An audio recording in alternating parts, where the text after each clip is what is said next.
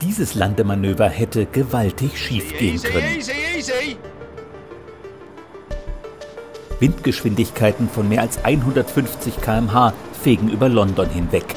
Ein Flugzeug in diesem Sturm zu landen, fast unmöglich. Ein Airbus A321 von British Airways im Anflug auf den Flughafen Heathrow. Die Maschine schaukelt in den starken Böen hin und her, fast wie ein Spielzeug. Beim Aufsetzen auf den Asphalt schwankt die Maschine, droht sogar umzukippen. Easy, easy, easy, easy!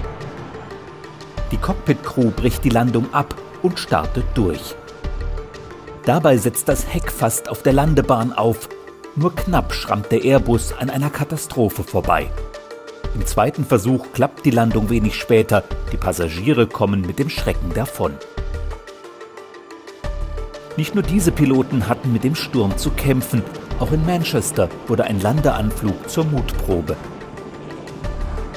Die Boeing 737 wird von den Böen kräftig durchgeschüttelt und muss gleich zweimal durchstarten. Doch auch hier geht am Ende alles gut aus. Ein Hoch auf die Männer und Frauen im Cockpit.